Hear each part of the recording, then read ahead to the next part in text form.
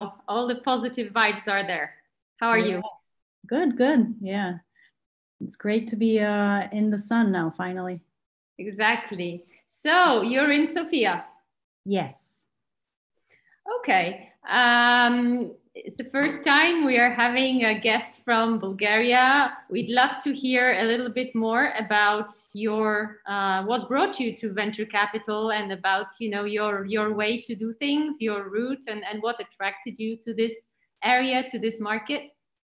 Sure. Yeah. Thanks for inviting me. It's a great pleasure to participate in this initiative. Um, so my background has mostly been in finance and investing. Um, and right before launching BrightCap, I also worked for a B2B procurement startup. Uh, so BrightCap and venture capital was kind of like a natural continuation um, of my career path and um, kind of like a convergence of all my uh, various experiences from the past in one. Uh, but just to give you a little bit more background, um, I was born and raised in Bulgaria, but left for college in the US right after high school um, and ended up staying there for 15 years. So um, got a, a, US citizenship. So now I'm a dual citizen um, and consider the US actually as my second home.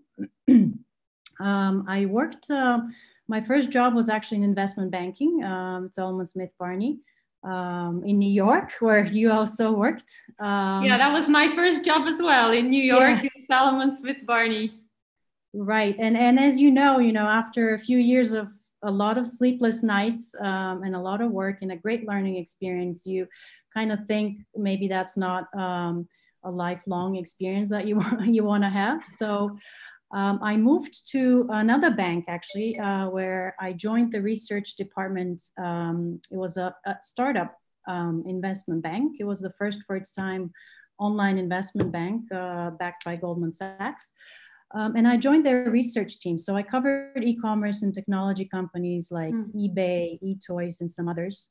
Um, and I think that's when my interest actually um, was born in, you know, in technology and innovation in the dig- digital world um, as a whole.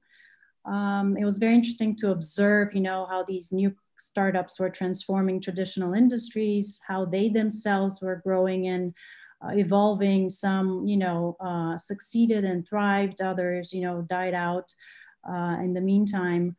Um, and, and then in 2001, uh, when the dot com collapsed, um, I decided to do my MBA. So I went to Stanford to the West Coast um, and spent two years there, uh, trying to figure out what I wanted to do next. So I took a lot of very many different classes, including, you know, African cinema, art, uh, you know, did a lot of different projects with uh, local firms. And one in particular was very interesting to me. I worked for a private equity firm uh, in San Francisco and decided I liked that buy side um, feeling, kind of taking ownership of, of your work and the development of a real tangible project.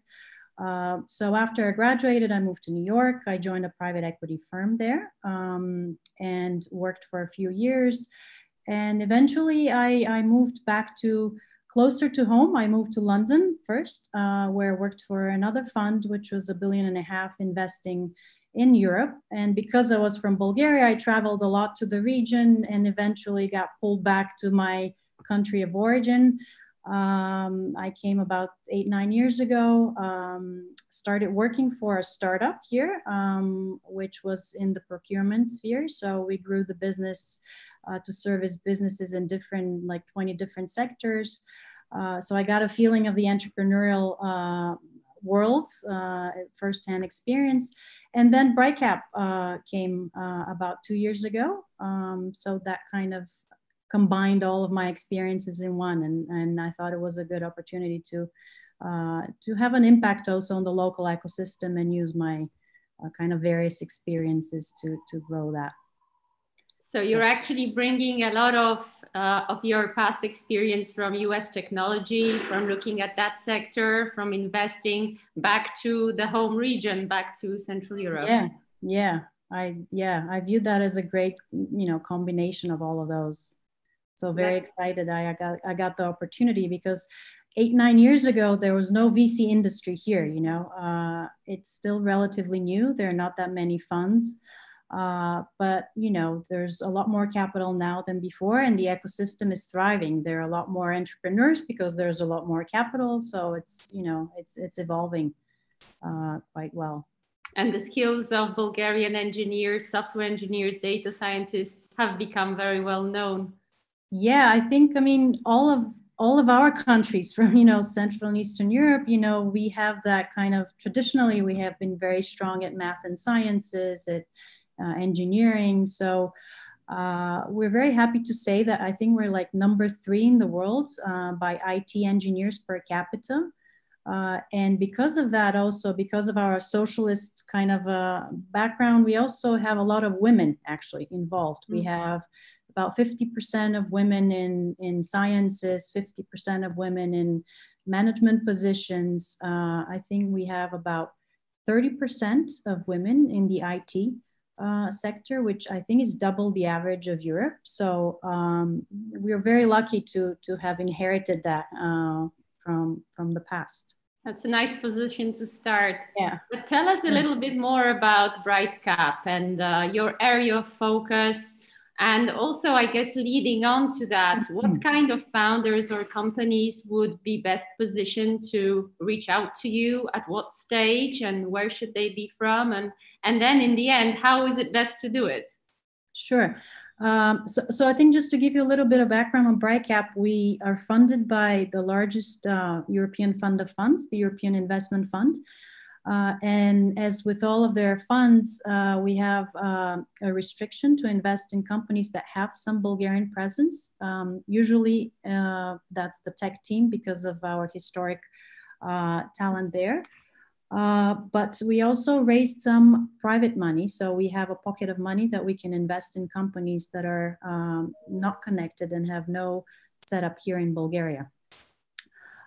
we have two different instruments we have an accelerator and an early stage uh, uh, compartment so we can invest in different types of companies, more mature companies, but also companies that are uh, starting to grow their businesses.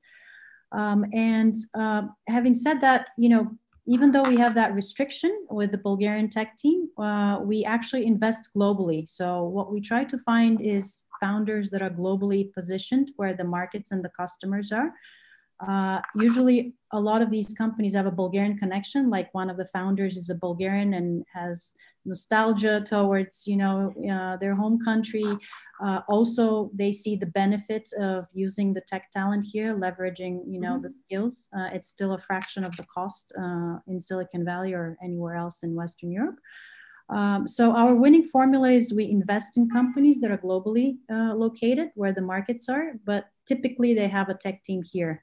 Not always. Some of them don't have. Some of them come and start, open up an office here. Um, we have one company that has no uh, operation here in Bulgaria, and may never have one, uh, but you know they're still investigating the possibilities of hiring uh, local talent.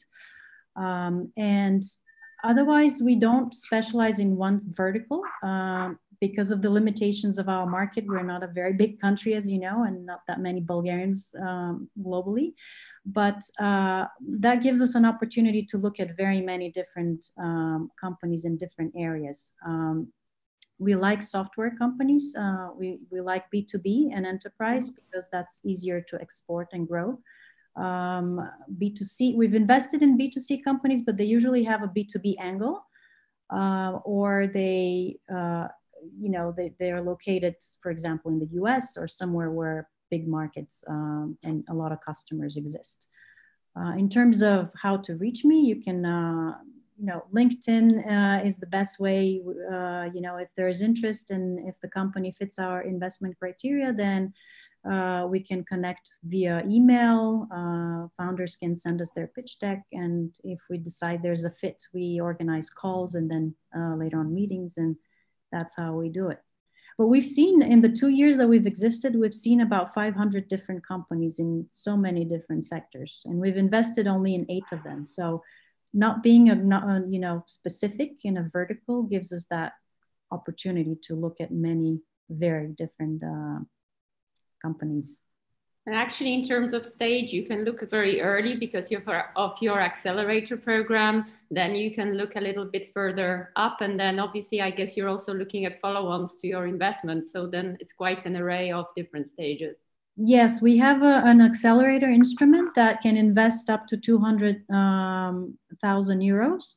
Um, that's about 3 million of the, of the money that we've raised. Uh, and the bigger part of our capital is actually allocated to seed investments. So we do seed Series A rounds, um, and there we can invest up to three and a half million. But the idea of the accelerator is to actually back a company at the beginning, see how they grow for a year, a year and a half, and then if they're successful, we top them up through the bigger uh, instruments. Um, and we also uh, have decided to put aside 30 to 40% of the fund for follow on investments. So we want to see our companies uh, throughout their journey. We don't want to spread thin and invest in many companies. We want to select a few and take them from beginning to end, so to speak. So we want to participate in all of their rounds if we can. Mm-hmm. Obviously, we have some limitations on the given the fund size, but this is our strategy in a way, being sector agnostic allows you to do everything. So you can choose the right founders and the right project better. Is that the way you are thinking and operating? Uh, yeah, I mean, I'm not sure if we necessarily choose the better projects, but we definitely have more options. Uh, we'd like to think we choose uh, very good projects. Uh, like I said, we've list, looked at 500 companies and uh, in many different areas. Um, and, and just to give you a little bit of, a, of an idea where we invest, we have a fintech company, we have a 3D point cloud automation startup, uh, we have a data science femtech company, uh, a cloud storage optimization, a website optimization platform. Um, we have a streaming pay-per-view platform for sports and music uh, a digital um, solution for air cargo, um, and a business integration platform uh, that we actually exited uh, about a year ago. But we're in very many different sectors and we like to invest opportunistically. Uh, we obviously cannot be experts in every one of those fields that I mentioned. So what we've done is we formed partnerships with, um, with different um, uh, industry experts and companies uh, that can help us validate uh, those products and give us some industry insights. Uh, like we have a partnership with a retailer, uh, with uh, logistics companies, with trading experts, film and movies. You know, we have selected a few areas where we think there are trends for innovation and startups to develop, and we validate those products with those experts. Okay, that, that's that's great. And uh, once you invest, what is it like to work with you? What is your approach? What's your secret sauce in terms of the partnership with the founders? So I think all of us have this entrepreneurial background, which I think is is important to um, to to have some under understanding and empathy towards the founders. Um, we also choose founders that come from the industry, so we trust them. We know they have deep knowledge and understanding of the problem they're trying to solve. So we don't try to micromanage them. We kind of we're there if they need help uh, with with an issue, but we don't uh, lead them on or uh, handhold them uh, throughout the process. Uh, and I think one interesting um, differentiator for our fund is the composition of our team. Uh, I mean, we all have the entrepreneurial background, but I think each one of us has a special set of skills uh, like one of my partners is a technical guy. He, uh, you know, built and sold two companies. So when we do due diligence, he digs deep in the technical aspect. He does uh, a very deep technical due diligence, and later on, he can help with uh, providing some advice uh, on that front. Um, my other partner is more of a tech sales and business development um, expert. Um, he worked for an Israeli startup, uh, Mercury, that was sold to HP for like 4 billion i think. So he brings that experience with him. Um, my background is more in finance and investing. Uh, you know can provide guidance with uh, you know deal structuring fundraising budgeting modeling all that. Uh, and we also have a venture partner who um, uh, is the managing director at VMware uh, for R&D centers in the region. So she can bring more of a big picture kind of um, uh, perspective and validate some of the products uh, in big um, corporate environments. Um, and in addition to that, we also have a large network of contacts. You know, we have one of the partners is Israeli, so he has a connection with Israel. We formed some partnerships with local VC funds. We co-source uh, and share ideas together. Uh, and all of us have worked and studied or both you know in the states. So we have that connection to um, to the us we have a satellite set up in silicon valley where uh, we help our companies um, um, set up an operation if they don't have one yet uh, grow their businesses meet customers uh, you know do some marketing. So i think we bring that bridge to our companies to go to the us um, eventually so I think this is kind of our uh, set of skills that we bring and try to help our portfolio companies grow. That's actually super important. A few of the things you said. One thing is that I think European funds still lack uh, people with in-depth technical skills who are able mm-hmm. to really assess the technology, the IP behind. Uh, it's typical in the US, but in Europe, yeah. I think we're still behind in terms of this. Uh, the second thing you said was the network. Uh, you have mm-hmm. an immense network, uh, also because of the of the partners that are in the fund and and the other uh, people around it, and this bridge uh, moving across the Atlantic is, is super mm-hmm. important. Mm-hmm. I don't know if you agree, but what we are seeing is that companies in Central Europe have amazing software skills, amazing engineering, amazing ideas but the market is not here. You need to sell those ideas elsewhere. And then you need to be close to those clients who are actually buying it. I guess exactly. we are a little bit behind in terms of technology adoption, uh, if you think about it from a sales standpoint. And therefore, it's super important to be networked out there. Um, yeah, exactly. And that, that's why our satellite setup there, we actually have cohorts. So we mm, put together a number of companies and they're taught how to sell, how to market. They're put in touch with, you know, partners there um, because it, I mean, I'm sure you know, like European founders are very technically savvy, but like you said, they don't really know how to sell to those big markets and uh, in the US especially. So uh, that's a skill that they're still uh, kind of developing and they obviously need the warm connections and uh, introductions to, to uh, companies there. So that's very valuable, I think, for for European companies. We also co-invest. Uh, you know, we have four companies in the U.S. Uh, and in all four of them, we have a co-investor. So it's a, a, a U.S. venture capital firm that co-invested with us, which also brings exposure to the whole European ecosystem right? So these vcs are warming up to you know investing in companies outside of the us um, so they're seeing a lot of mm-hmm. successes in europe and uh, kind of it's it's it's uh, i think it's a good trend to have.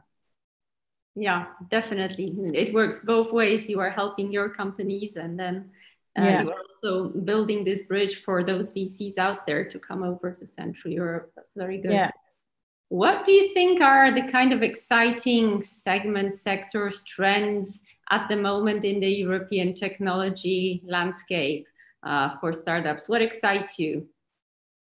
Um, I think, I mean, first of all, Europe, I think, uh, is becoming uh, more and more visible uh, in terms of uh, investing in, in venture capital and private equity. Um, I think last year, there was uh, about 100 billion that was invested in Europe. Um, I mean, a part of that was in VC deals, I think like 15% or so, but that year over year is growing. So last year, I think there was a 20% growth over the previous year. So uh, again, you know, there's a lot more activity than there used to be before.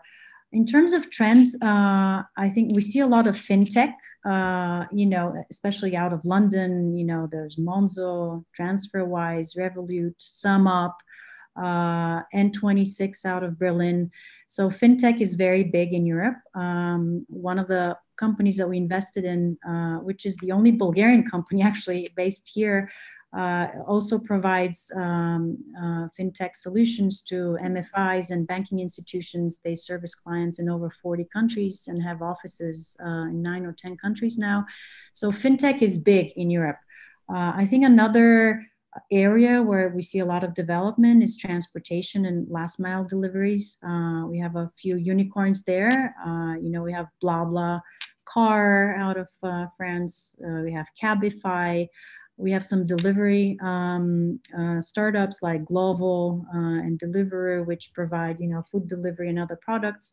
So we see uh, a trend there as well, but that's a global trend uh, and it's catching up in Europe. Uh, we see development in deep tech and robotics, uh, you know, UiPath out of Romania. that's a big success. Um, in agri and food, uh, again, another sector where globally there's a lot of development. Uh, there's a company in France that does uh, transforms insects into you know nutrient resources. That's a trend. We also have a Bulgarian company that is doing that as well. Um, so that's that's uh, there's great progress there, and I think that's going to continue with the population growing and food becoming scarce. Um, and in automation and digitalization, we see a lot of a lot of uh, growth there as people as companies are trying to be more efficient and cost effective. And especially now with COVID, uh, I think every company is trying to cut costs. Uh, and automation and digitalization does that. Uh, I think four out of the eight companies actually do some kind of automation um, and uh, make these processes more efficient uh, and obviously health tech and you know uh, femtech you know uh, there's a big surge in online medical assistance now with covid which i think afterwards will continue because if you can you know talk to your gp for a trivial question online why waste time to go to their um, office you know? Um, and and there's a huge trend in personalization. So using ai and ml um, algorithms to personalize solutions to every individual or every uh, customer, be it a business or an end customer. So these are trends that I think they're global trends, but uh, in Europe they're also uh, very big. And uh, uh, we, being being sector agnostic allows us also to follow those trends. And if a new trend emerges, you know, uh, since we don't specialize in one vertical vertical another, we can very easily take advantage of that as well. You've invested in women led startups, you've invested in this femtech one as well. That's a, that's a mm-hmm. kind of typical, I would say, impact startup. Uh, could you tell us a little bit about your approach and what you are thinking at the moment in terms of impact investing in the venture capital space? Uh, sure. I think, I mean, you know of course everybody wants to to do good in addition to make money so and and so do we. Uh, i think inherent to our structure and and the fact that eif is our anchor investor uh, we uh, just have that impact on the local ecosystem here because um, all these companies that we try to um, sponsor and fund they may be located globally but we try to build tech teams here so we create jobs for the local ecosystem we bring exposure um, you know we, we we attract foreign companies also that have no bulgarian connection uh, to bulgaria to um, hire engineers and data scientists so that's kind of an impact that creates also this new generation of entrepreneurs. Um, and in addition to that, um, we uh, also like having finding a company or solution that addresses an overlooked problem that uh, has a great impact. Uh, one such company is the Spanish company Woom that we invested in. Uh, it's the only company with no Bulgarian connection whatsoever. Uh, so it's based out of Madrid, founded by two females, uh, one from Belgium and one from Honduras. So, uh, you know, uh, nothing to do with Bulgaria. Uh, but what we liked is that in addition to um, for them to, they figured out a way how to monetize um, this impactful solution that they've created. they basically help women get pregnant uh, now, but they're focusing on um, reproductive health issues throughout, from contraception to fertility to menopause. So that's you know uh, in their plan uh, for the future. Um, and since their inception uh, a few years ago, they've helped, I think, about 50 now, maybe 60,000 women get pregnant. Uh, so that's a great impact that they've achieved. And in addition, they figured out a way how to monetize and be sustainable. So that data that they collect, um, in addition to helping women get pregnant, they also uh, analyze it. They use AI, ML algorithms. They analyze the data and they get some insights from the data that they can sell to pharma companies, clinical trial companies, uh, fertility clinics, so that they can help them better serve those customers. So it's kind of a, a win-win for both uh, the end customer, the woman, and also the businesses that serve those end customers. Uh, and also for us because we're bringing them here. They're um, they already set up an office here. They're hiring their first uh, engineers and data scientists, uh, which most of them are actually women because it's closer to them, right? So. Mm. Uh, you know that's kind of an impact from very many different angles uh, so we're proud to uh, have attracted a foreign company to Bulgaria uh, to create some impact here locally. That's brilliant. That, that's a great example. In terms of female founded projects, are you seeing more of them in general? Um, I, I can't really say. Uh, you know, I haven't done the statistics on in terms of five years ago and now, but uh, definitely there's a trend, I think, going in that direction. Um, I think, like as I mentioned earlier, we have a lot of women in tech and sciences um, and math, and um, uh, what they've done, a lot of them, in addition to just setting a good example for other women uh, to become leaders in, in their spheres, they also have launched uh, specific initiatives to uh, promote and motivate other women uh, to start their careers and develop their skills in technology and entrepreneurship. Um, so I think that's that's a positive trend. Uh, what we also see here locally, especially, is uh, we have six or seven funds, and they're females, uh, either as partners or in you know um, senior positions within those funds. Uh, so that that kind of uh, helps female founders uh, reach the that capital because you know Woom, which deals with fertility uh, even though that's not necessarily just a female problem, but females are more uh, closer to it. So for them, it would be easier to explain and sell to um, a female uh, investor rather than a male investor. So I think as more and more women become investors, more and more females um, will find someone to listen to them.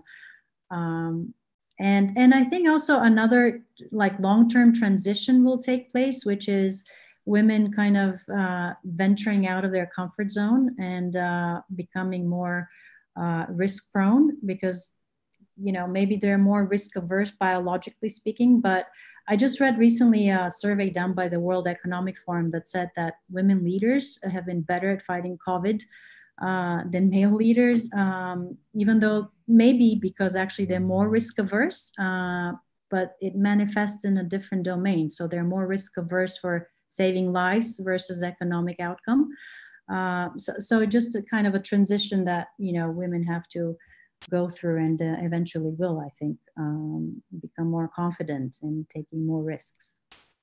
Yeah, this is what I find is that leadership, when there are, when it's mixed, when there are women in leadership positions, they are not the ones that create wars. They are not the yeah. ones that create the crisis, and they're not the ones that are creating the conflicts um, they are the ones that want to be there for the long term and just invest in the future. And I think that that is a, a women thing. I think that having more women in technology and in venture will, in the end, have that kind of positive feel to it as well. So yeah, yeah. nice that in Bulgaria there are so many of them. That's that's really great yeah I, I, think it's always good to have a good mix it's not good to be one way or another i think diversity brings very different points of view and it's always good for um, progress i think yeah it, it's supposed to create better results and i think there's a few now studies on that so that that's, that's a very interesting topic um, in terms of kind of a high level what would you change around the venture capital today if, if you could um, that's a very good question. Um, maybe taking away borders. Um, I think still uh, today it's it's still very geographically limited. Uh, you know, US VCs investing in US companies, Asian VCs investing in Asian, European and European startups. Uh, I think that's changing, obviously, because uh, uh, you know there are very good companies starting out of anywhere in the world. Um, and um, I think we see that trend. You know, Sequoia, as you know, is opening up an office in London. Uh, so we see VCs opening up uh, their horizons and and investing globally. But that's one thing. Uh, I think the, the world is just becoming more um, borderless. So uh, on any level, uh, I think that's probably going to be the trend in the future. That will be very good when when that when that happens because technology knows no borders. So exactly, yeah, it yeah. exactly fits that picture. And in terms of the founders you're working with, uh, I think you know uh, it's always good to to understand a little bit what are the kind of qualities that you find important in them. Uh, what do you look for? And then I guess what I wanted to end on a final note as well was some advice to them. What is their, you know, it's it's a difficult time at the moment uh, for founders, a very kind of unstable time. Um, so could you just talk a little bit through on the founders and your advice to them at this point? Um, I think uh, what I see lacking in a lot of founders, especially from our region, is is is their confidence and thinking big. Uh, we see a lot of uh, very talented people uh, kind of being more uh, insecure and starting small and uh, being afraid to think big. Um, but, but I think that uh, thinking big actually provides a direction uh, in which founders should go. I mean, uh, that's not to say being delirious, you know, but you know, doing your homework, uh, you know, taking appropriate focus steps, but wanting something big because that's the only way you can grow and develop and take over the world is uh, if you have a big ambition and you follow through. Um, I think another thing that Bulgarian entrepreneurs and, and, maybe just European in general are just they're a lot more afraid of failure uh, than American counterparts. Uh, I think in the US, failing is actually seen uh, as an opportunity to learn uh, and grow. Uh, while in Europe, and particularly, you know, in our part, maybe I, I can only speak to Bulgaria, but failing is is kind of like a, a bad thing. You know, there's a stigma still about it. Uh, so I think if you think big, if you're not afraid of failure, uh, you can achieve a lot. Uh, if you do your homework, if you try to differentiate your product uh, and figure out whether you're really solving a problem that uh, people are willing to pay for, because you know you can have a solution that is a nice to have solution, but uh, if customers are not willing to pay for it, then it's not a sustainable business, and you can't uh, be a leader and you can't uh, grow exponentially and take over the world. Uh, in, in terms of just now with COVID, um, I think Bulgarian founders have realized that, uh, again, maybe because historically we, have lived through that, to be more frugal uh, and um, be very uh, careful with uh, how they spend and where they spend uh, and focus on their core areas uh, and are on their one goal uh, and kind of uh, cut off all the extra sides kind of activities. So to be more laser focused for now to to be able to survive the crisis uh, I think the crisis is also actually bringing a lot of opportunities to some companies in uh, in different sectors. So there, they actually have the opposite problem, like how to grow and how to meet the increased demand uh, in in in a time when things are uncertain. It's difficult to to understand whether you should hire a lot of salespeople, whether that's temporary, whether things are going to change long term or short term. Mm-hmm. Uh, so just my advice would be to be more careful on, on where you spend your money, but at the same time, don't miss the opportunity to grow if uh, uh, there's an opportunity that COVID presents. Okay, okay, brilliant. Elina, it's been great speaking to you. Uh, Likewise, yes. It's a great story. Um, looking forward to working with you and uh, let's keep in Me touch. Too. Thank you for your sure. time. Definitely. Thanks, Kinga. Have Take care. Day. It was a pleasure. Bye-bye. Bye.